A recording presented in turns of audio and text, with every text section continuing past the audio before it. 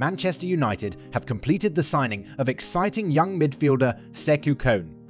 The Mali youth international has joined from Guidars FC in his homeland. Kone only turned 18 in February and will initially be supported by the academy in order to give him time to settle into life in Manchester. He has put pen to paper in advance of the closure of the summer transfer window later this evening Friday.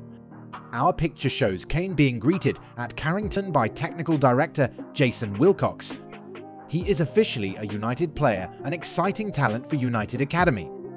Welcome to United, Sekou.